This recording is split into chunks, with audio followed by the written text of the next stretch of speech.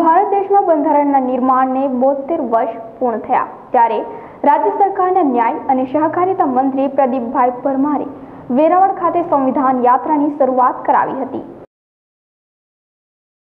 ગીર સોમનાથ જિલ્લાના વડામથક વેરાવળના ટાવર ચોક ખાતે આંબેડકર પાર્ક નજીક સ્વર્ગસ્થ ડોક્ટર બાબા સાહેબ આંબેડકરની પ્રતિમાને ફૂલહાર સાથે હારતોરા અને પુષ્પાંજલિ અર્પણ કરવામાં આવી હતી. ત્યારબાદ વિશેષ રૂપે બનાવેલા સંવિધાન રથ પર પુષ્પવૃષ્ટિ કરીને સંવિધાન યાત્રાની શરૂઆત કરવામાં આવી હતી, જેમાં મોટી સંખ્યામાં લોકો પણ જોડાયા હતા. શહેરમાં અનેક સ્થળોએ રેલીનું સ્વાગત પણ કરવામાં આવ્યું હતું. તેમજ નગરપાલિકાના કોમ્યુનિટી હોલ ખાતે રેલીનું સમાપન કરવામાં આવ્યું હતું. આ તકે મંત્રીએ બાબા સાહેબ આંબેડકર દ્વારા છેવાડાના અને અસ્પૃશ્યતાનો ભોગ બનેલા લોકોના ઉત્થાન માટે કરેલ જોગવાઈઓ અને દેશના સુચાર વહીવટ માટે નિર્માણ કરેલા બંધારણની મહત્વતા વિશેષ જણાવ્યું હતું. સાંસદ રાજેશભાઈ ચુડાસમાએ બંધારણને ભારતના પ્રાણ સમાન ગણાવ્યું હતું. બંધારણની રચનામાં બાબા સાહેબ આંબેડકરની કુશળતાને યાદ કરવામાં આવી હતી. તેમજ જિલ્લા ભાજપ પ્રમુખ માનસિંહ પરમારે પણ બાબા સાહેબ આંબેડકરને અટલ બિહારી વાજપેયી સરકાર દ્વારા અપાયેલા ભારત રત્ન વિશે ઉલ્લેખ કરીને બંધારણના ઘડવૈયાને શ્રદ્ધાંજલિ અર્પી હતી. ડૉક્ટર બાબા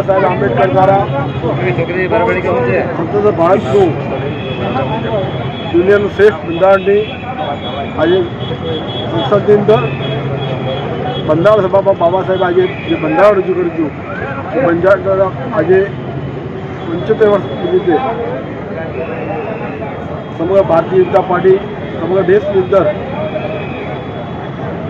ખૂબ મોટી સંખ્યામાં મોટા સ્થાનો ઉપર, ખાસ કરીને ગુજરાતના એકતાલીસ જિલ્લાઓમાં એકતાલીસ સ્થાનો ઉપર ગુજરાત રાજ્યના માન્ય મુખ્યમંત્રી શ્રી ભૂપે- ભૂપેન્દ્રભાઈ પટેલ આજે અરવલ્લીમાંથી બાબા સાહેબના સંવિધાનની યાત્રા કાઢવાના હોય, એ રીતે બધા સરકારના મંત્રીશ્રીઓ અને ભારતીય જનતા પાર્ટીના મુખ્ય આગેવાનો દ્વારા આજે સમગ્ર રાજ્યમાં આ સંવિધાન યાત્રાનો કાર્યક્રમ રાખવામાં આવ્યો છે.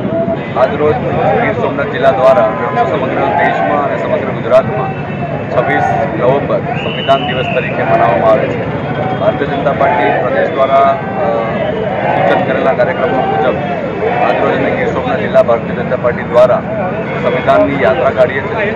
બાબા સાહેબ આંબેડકરે આપેલું જે સંવિધાન છે એનું પુસ્તક અને ખૂબ મોટી સંખ્યામાં મોટી યાત્રા કાઢીએ bureau report D nine news. અમારી ડી નાઇન ન્યૂઝ યુટ્યુબ ચેનલને સબસ્ક્રાઇબ કરો ક્લિક કરો બે આઇકન કરો અને મેળવો વિશ્વભરના ન્યૂઝ અપડેટ.